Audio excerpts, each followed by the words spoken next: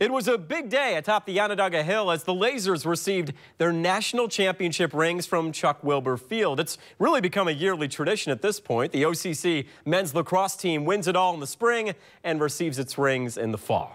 Congratulations on being head champ. There they are, the team on hand in front of family and friends to receive those championship rings. And let me be the first to say they are beautiful. It's the 12th national championship win in the program's history, a memory coach Eric Micchio and his players will never forget. It's been uh, a dream come true. Been very exciting for uh, these players who've you know worked so hard, overcame some adversity. We, had, we, went on a pretty cool journey together. So it's obviously uh, great to get you know last year's guys together with, with, this year's guys. What do you like about the rings? Um, my favorite part is uh, probably the 12x national championship right here. I think that's unbelievable. Man, those rings just keep getting bigger and bigger. Yeah. It seems like so many diamonds in them. But congratulations, the OCC men's mm -hmm. lacrosse team.